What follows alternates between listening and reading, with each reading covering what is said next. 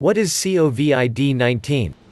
In 2019, the Centers for Disease Control and Prevention (CDC) started monitoring the outbreak of a new coronavirus, SARS-CoV-2, which causes the respiratory illness now known as COVID-19. Authorities first identified the virus in Wuhan, China. More than 78,191 people have contracted the virus in China. Health authorities have identified many other people with COVID-19 around the world, including in the United States.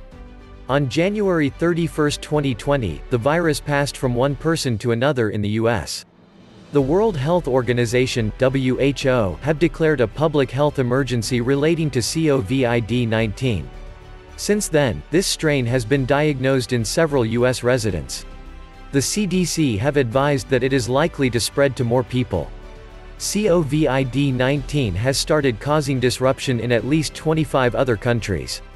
The first people with COVID-19 had links to an animal and seafood market. This fact suggested that animals initially transmitted the virus to humans.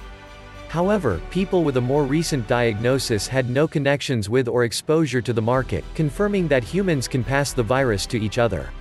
Read more about how pangolins could be the source of COVID-19. Information on the virus is scarce at present. In the past, respiratory conditions that develop from coronaviruses, such as SARS and MERS, have spread through close contacts. On February 17, 2020, the Director General of the WHO presented at a media briefing the following updates on how often the symptoms of COVID-19 are severe or fatal, using data from 44,000 people with a confirmed diagnosis.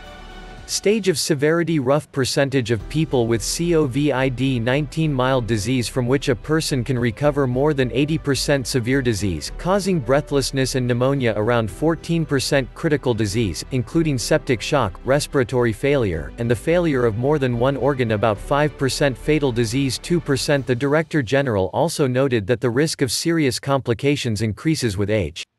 According to the WHO, few children get COVID-19, although they are still investigating the reasons for this. However, while some viruses are highly contagious, it is less clear how rapidly coronaviruses will spread. Symptoms of COVID-19 Symptoms vary from person to person with COVID-19. It may produce few or no symptoms. However, it can also lead to severe illness and may be fatal. Common symptoms include Fever breathlessness cough It may take 2 to 14 days for a person to notice symptoms after infection. No vaccine is currently available for COVID-19. However, scientists have now replicated the virus. This could allow for early detection and treatment in people who have the virus but are not yet showing symptoms. The National Institutes of Health NIH suggest that several groups of people have the highest risk of developing complications due to COVID-19.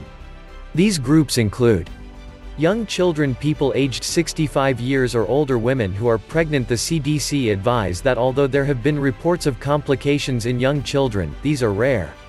COVID-19 most commonly produces mild symptoms in children. Subscribe to this channel Baby Time FYI for more video thank you.